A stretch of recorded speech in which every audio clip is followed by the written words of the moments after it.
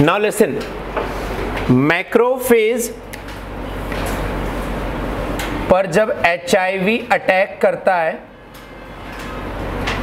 उसके बाद मैक्रोफेज से a large number of H virus are produced which now attack on helper T cell कौन सी cell पर अटैक करते हैं? Helper T cells HIV virus macrophage से निकलने के बाद हेल्पर टी सेल पर अटैक करता है और जब हेल्पर टी सेल पर अटैक करने के बाद एचआईवी वायरस का हेल्पर टी सेल पर अटैक करने के बाद जब हमारी बॉडी की इम्यूनिटी क्या होने लगती है? डिक्रीज क्या होने लगती है? Decrease then in human body many other infections in human body many other infections starts to rise like toxoplasmosis ये एक प्रोटोजोआ से होता है. Second one sarcoma that is Kaposi sarcoma that is a blood cancer actually not blood cancer it's a cancer of blood vessels then other viral and fungal infection also take place in human body देखो होता क्या है human body में एक gland होती है thymus जो formation करती है टी लिम्फोसाइट का। अब ये ग्लैंड 13 इयर्स की एज तक आते आते डीजनरेट हो जाती है। तो जब टी लिम्फोसाइट्स का फॉर्मेशन नहीं होगा और एचआईवी वायरस हमारी बॉडी में ऑलरेडी टी लिम्फोसाइट को डिस्ट्रॉय करता जा रहा है तो हमारी बॉडी की इम्यूनिटी क्या होती जाएगी? और ड्यू टू विच जो दूसरे ऑर्गेनिजम्स हैं, जो हमारी बॉडी में नॉर्मली इन्फेक्शन प्रोड्यूस नहीं कर पाते, वो भी हमारी बॉडी में डिसीज प्रोड्यूस करते हैं। ये सारे इन्फेक्शंस कलेक्टिवली कहलाते हैं अपॉर्चुनिस्टिक इन्फेक्शन क्या कहलाते हैं? Opportunistic infection clear this point तो write down this point after macrophage after macrophage hiv attack on after macrophage hiv attack on helper t cell after macrophage hiv attack on helper t cell due to which due to which immunity of our body decreases due to which immunity of our body decreases and and many other infections and many other infections like toxoplasmosis many other infections like toxoplasmosis comma kaposi sarcoma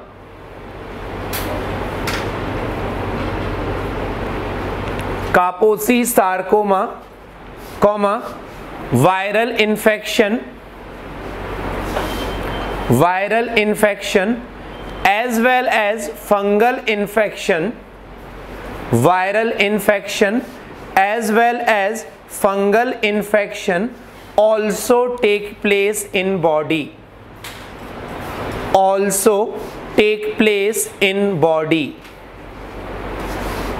And such infections are said to be and such infection are said to be and such infections are said to be opportunistic infections. Such infections are said to be opportunistic infections. Prevention and treatment में first point लिखो in case of HIV in case of HIV prevention is better than cure in case of HIV prevention is better than cure. In case of H I V but सारी diseases में ये important है okay but H I V के लिए mainly इसलिए ज़्यादा important है, क्योंकि इसका ट्रीटमेंट होता ही नहीं है ओके okay? लिखो इसमें to prevent to prevent spread of H I V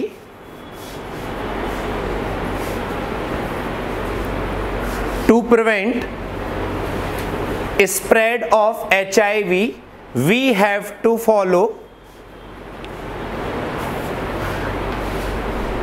we have to follow different measures like different measures like first लिखो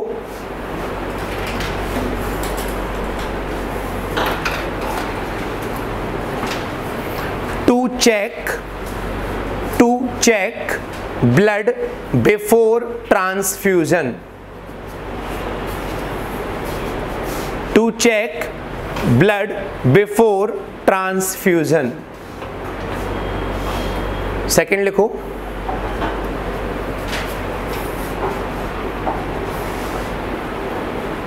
To perform sexual intercourse with precautions to perform sexual intercourse with precaution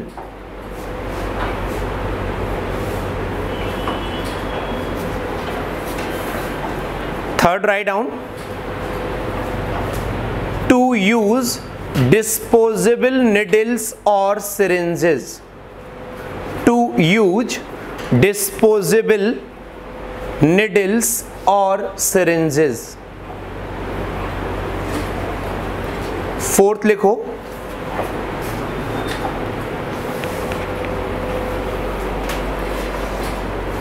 Either to treat pregnant women. Either to treat pregnant women. और to perform abortion. और to perform abortion.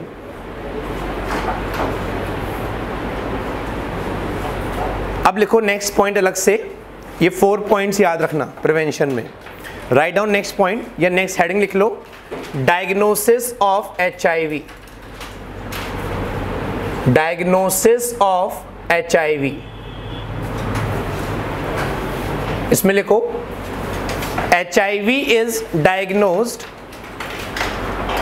H I V is diagnosed by the help of ELISA. By the help of ELISA. Enzyme linked immunosorbent assay. Enzyme linked immunosorbent assay ISC वाले बच्चे याद रख लें full form पूछे जाते हैं आपके एग्ज़ाम्स में, और ये आता है एलाइजा ओके एड्स का आता है. Enzyme linked immunosorbent assay is use या क्या लिखा था स्टार्टिंग में? H I V is diagnose by the help of ELISA that is enzyme linked immunosorbent assay which is based on which is based on antigen antibody interaction which is which is based on antigen antibody interaction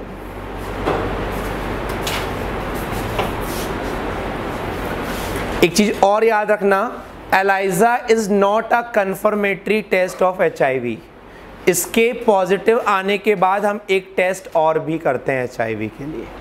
ठीक है? But वो अपन आगे चलकर पढ़ेंगे। That is called blotting test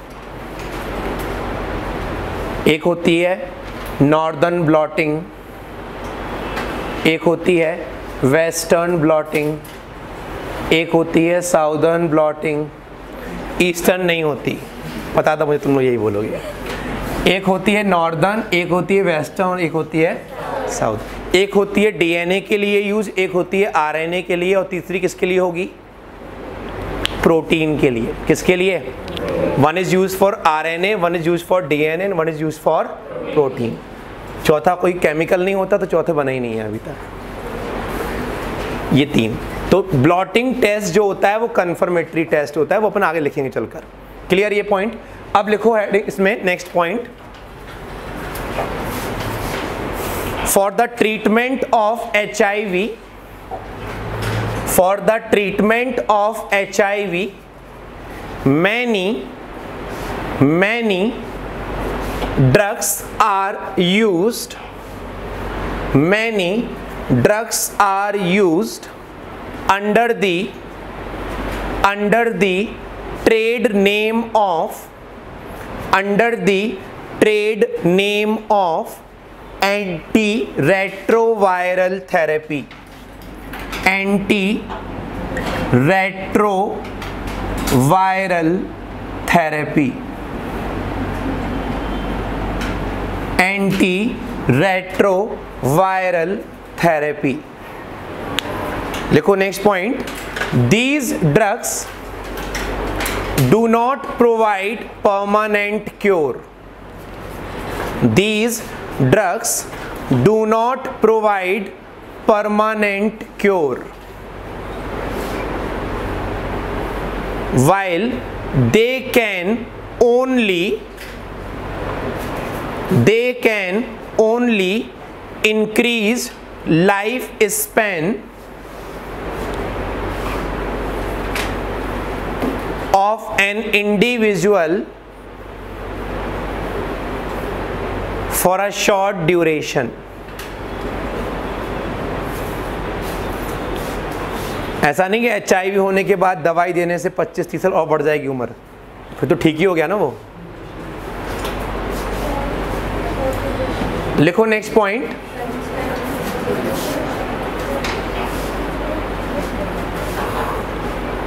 the other drugs are the other drugs are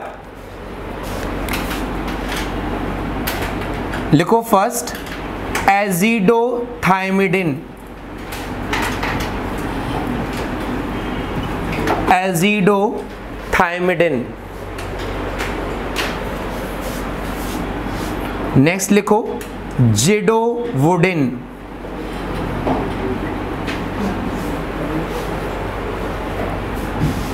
next लिखो lamivudine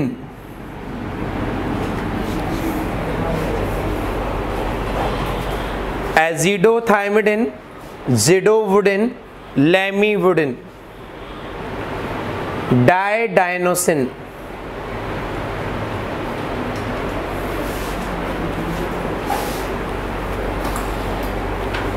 जिसमें से ये दो ड्रग्स बहुत पूछी जाती हैं एजिडोथाइमिडिन और डायडाइनस और जब आप मेडिकल कॉलेज में जाओगे तो ये दोनों नहीं पूछी जाती। ये दोनों पूछी जाती। जेडोवुडिन और लेमीवुडिन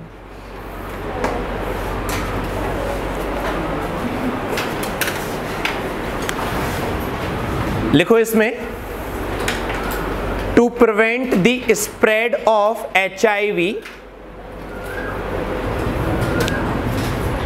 to prevent the H I HIV many NGOs many NGOs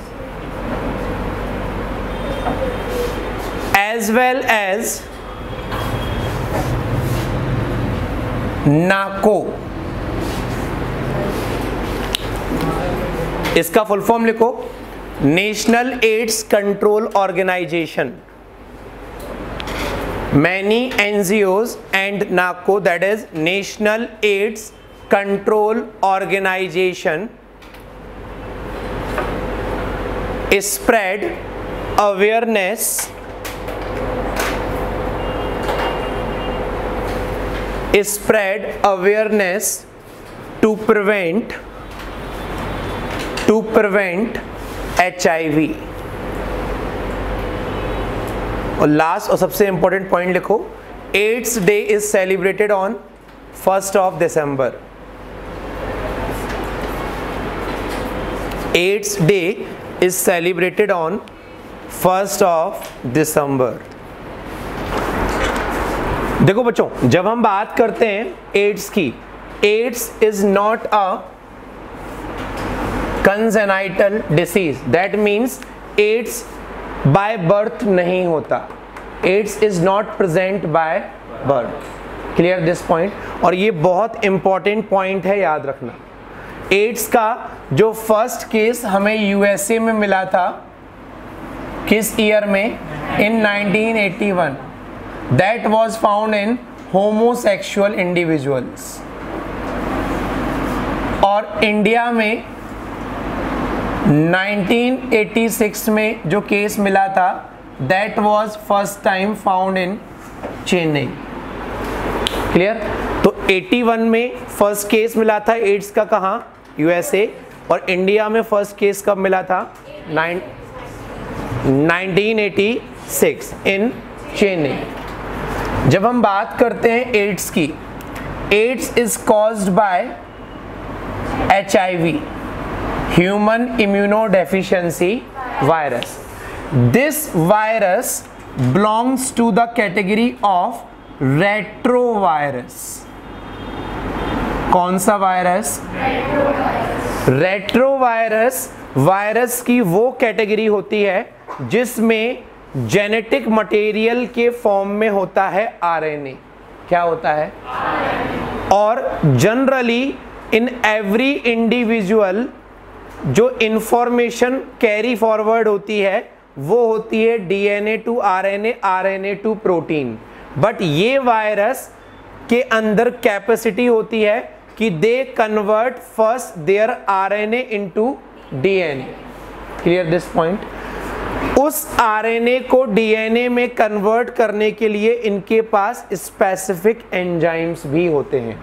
That's why they are said to be retrovirus और रेट्रोवायरस ही ह्यूमन बीइंग में कैंसर भी प्रोड्यूस कर सकते हैं। अगर कैंसर प्रोड्यूस करने वाला कोई ऑर्गेनिज्म ह्यूमन में है तो वो है रेट्रोवायरस क्या है?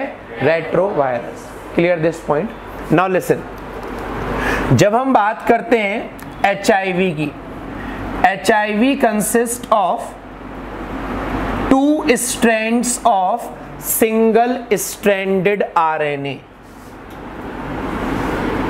strands of single stranded RNA two strands का मतलब ये नहीं कि हम इसको डबल स्टैंडर्ड आरएनए बोल सकते हैं। आरएनए कैसा है? सिंगल स्टैंडर्ड बट उसके मॉलिक्यूल्स कितने हैं? Two two molecules of single standard RNA के साथ साथ यहाँ पर टू मॉलिक्यूल्स होते हैं एंजाइम्स के, जिसको हम नाम देते हैं रिवर्स ट्रांसक्रिप्टेज। क्या नाम देते हैं? Reverse transcriptase. यही वो एंजाइम है जो आरएनए को किसमें कन्वर्ट करता है? डीएनए में। किसमें कन्वर्ट करता है? अब इस आरएनए के चारों तरफ़ प्रोटीन की कवरिंग पाई जाती है।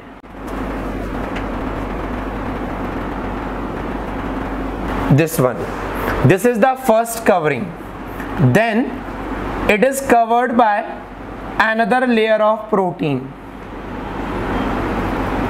this is a second covering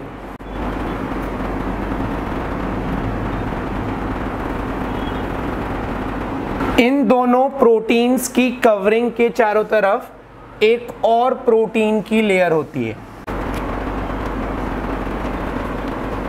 यहाँ पर ये स्पाइक्स निकले होते हैं। इस तरीके से। ये जो स्पाइक्स निकले हुए हैं these spikes basically are made up of glycoprotein this is called G P forty one glycoprotein forty one and this is called G P one twenty क्या कहलाता है? जी पी वन ट्वेंटी इन proteins के भी name होते हैं। P seventeen, P twenty four, ये names होते हैं। P for proteins, G GP for glycoprotein 120 की हेल्प से ही HIV वायरस हमारे बॉडी की उन सेल से अटैच होता है जिनके पास एक स्पेसिफिक टाइप के रिसेप्टर्स होते हैं जिनको हम नाम देते हैं सी डी फोर रिसेप्टर्स क्या नाम देते हैं so this one is the structure of H I V which contain two molecules of single standard R N A two molecules of reverse transcriptase two layers of protein and another layer of glycoprotein. Glycoprotein consists of GP41 and GP. By the help of GP120, it attaches to the receptors present on human body cells. Those receptors are called ये receptors human being की body में macrophage पर present होते हैं the modification of monocyte and they are present on helper T cell. T lymphocyte का एक type होता है हेल्पर टी सेल। तो इसी वजह से एच जो है, हमारे बॉडी की सिर्फ़ दो सेल्स पर अटैक करता है। एक मैक्रोफेज और एक helper T cell. Because of presence of C D four receptors. Clear ये पॉइंट? लिखो नेक्स्ट पॉइंट इसमें। कंटिन्यू करो। एड्स इज़ कॉज्ड बाय ये लिख लिया था नॉट अ कंजेनाइटल डिसीज लिखो next point AIDS is cause by H I V H I V a retrovirus H I V a retrovirus H I V a retrovirus. लिखो next point retrovirus contain retrovirus contain RNA retrovirus contain RNA as a genetic material. Retrovirus contain RNA as a genetic material. And and they have capacity they have capacity to convert they have capacity to convert RNA into DNA RNA into DNA by the help of by the help of enzyme by the help of enzyme reverse transcriptase by the help of enzyme reverse transcriptase next point लिखो retrovirus retrovirus are also responsible for retrovirus are also responsible to produce cancer are also responsible to produce cancer